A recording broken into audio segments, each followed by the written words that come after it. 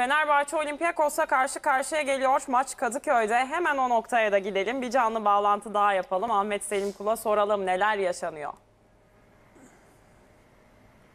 Sinem Ökten teşekkürler. Fenerbahçe stadyumunun önünde maç saatini bekleyişimiz sürüyor. Tabii daha 19.45'te oynanacağı için mücadele stat çevresinde de hareketlilik tam anlamıyla başladı diyemeyiz ama e, şehir dışından gelen Fenerbahçe taraftarları şimdiden stat çevresinde yerlerini aldılar. Sarı lacivertliler UEFA Avrupa Ligi'nin ilk maçında Eintracht Frankfurt'la 1-1 berabere kalmıştı deplasmanda. Hatta son dakikada bir penaltı kaçırmıştı temsilcimiz ve galibiyeti kaçırmıştık hatta. E, Burada da Olympiakos'u yenerek hem ilk galibiyetini almak hem de gruptaki rüştünü ispat etmek istiyor Sarı lacivertler. Tabii önemli eksikler var Fenerbahçe'de. Sosa, Nazım, e, İrfan Can, Tisserand bu isimler sakatlıkları sebebiyle aslında sağ çalışmalarına başladılar ama henüz maçta oynayacak duruma gelmedikleri için kadroda yer almayacaklar. Serdar Aziz de bel ağrısı sebebiyle aynı şekilde maç kadrosunda yer almasını beklemediğimizi söyleyelim. Aslında dün antrenmanda Mesut Özil Fenerbahçe'nin dünya ünlü yıldızının grip olması sebebiyle yer almadığını ifade etmiştik ama Mesut'a tabii ki tedavi uygulanıyor ve bugün açıkçası maç kadrosunda olmasına engel bir durum olmasını beklemediğimizi de ifade edelim. Mesut Özil maç kadrosunda olacaktır. Tabii ki Pereira'nın seçimine göre 11'de başlama ihtimalinin de olduğunu ifade edelim. Buna karşılık Olympiakos'ta Sarı Lacivertler ilk kez resmi bir karşılaşmada e, karşı karşıya gelecekler. Daha önce iki hazırlık maçı oynamışlardı. Biri burada Ülker Stadyumunda biri Afyon'da iki maçı da Fenerbahçe kazanmıştı fakat ilk kez resmi maçta karşı karşıya gelecekler. Tabii iki tarafta da birbirini tanıyan eski dostlar var. Vitor Pereira daha önce çalıştırmıştı Olympiakos'u. Buna karşılık Olympiakos'ta da Matteo Valbuena Fenerbahçelerin çok sevdiği bir isim vardı. Geri Rodriguez yine Fenerbahçe'de oynamış bir isim her ne kadar bu akşam olmayacaksa da e, Onyekuru ve Buruma da yine ligimizde forma giyen isimlerdi. Bu anlamda da ilginç bir mücadele bizi bekliyor. Taraftarların da maça yoğun ilgisi olduğunu ifade edelim. Maç neredeyse kapalı gişe oynanacak durumda. Sadece çok az bilet kaldığını, %10'luk bir kısmın satılan biletlerden %10'luk bir kısmın kaldığını söyleyelim. Bunların da bugün tükenme ihtimali mevcut. Sarı lacivertlerin ve Olympiakos'un son olarak muhtemel 11'lerini de aktarmak istiyorum sizlere. Fenerbahçe'de kalede yine Altay forma giyecek. Sağ stoperde Novak. Merkezde Mince Ekim. Solda Atilla Zalai. Orta sahada sağda Osay Samuel. Solda Ferdi Kadıoğlu. Göbekte Meyer Gustavo ikilisini bekliyoruz. Hücum hattında ise Berisha, Valencia ve Rossi ile sahaya çıkmasını bekliyoruz. Vitor Pereira'nın tabii ki Pelkas ve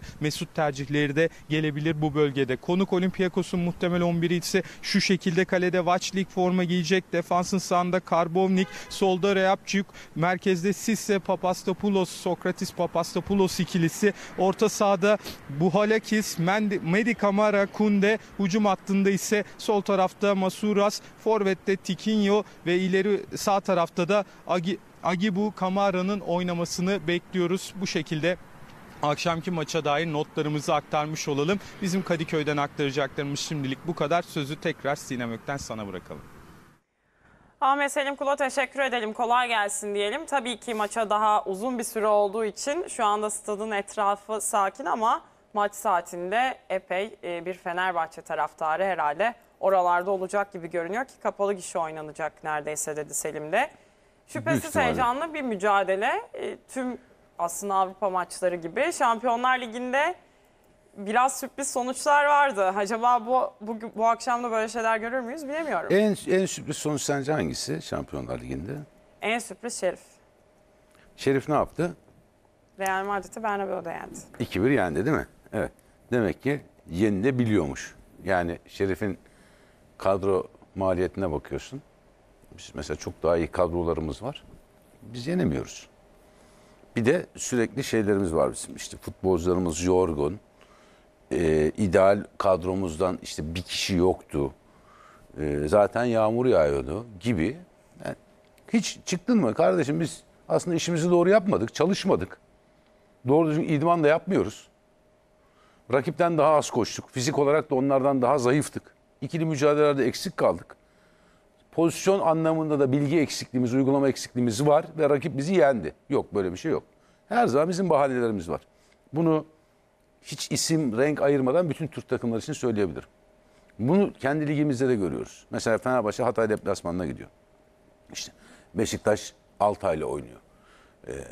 Kayseri ile oynuyor Galatasaray, efendim e, Konya ile oynuyor Trabzonspor. Kimle kim oynarsa oynasın. Büyük takımlarımızın şöyle bir e, hayali var. İdeal kadroyla sahada olacaklar. Mümkünse kendi sahalarında oynanacak. Hakem de tüm takdir haklarını onlardan yana kullanacak. Sonra taraftar desteğini zaten sayılır maçı kazanacaklar. Her kazandıkları maçtan sonra da kahramanlık şarkıları beslenecek. Yani bu şuna benziyor. mi? Büyük Ya bu, bu bakış açıları bu. Bakış açıları bu. Yani normal şartlarda kurulan kadrolara yapılan harcamalara bak. Dört büyükler dediğimiz grubun istisna işte Başakşehir'in hani kadrosunda pahalı oyuncular var. İstisnaları saymazsak Anadolu takımlarıyla aralarında uçurumlar var. Mesela 3-4 tane Anadolu takımını bir araya toplasan ancak bir tane büyük takım falan kurabiliyorsun. Ama oynanan futbollara bakıyorsun. Arada hiç öyle dağlar taşlar yok. Bakış açısıyla ilgili bu. Demek ki oynanırsa der, gerçekten dersin çalışırsan yenebilirsin, kazanabilirsin. En azından güzel mücadele edebilirsin. Peki bu maça gelelim.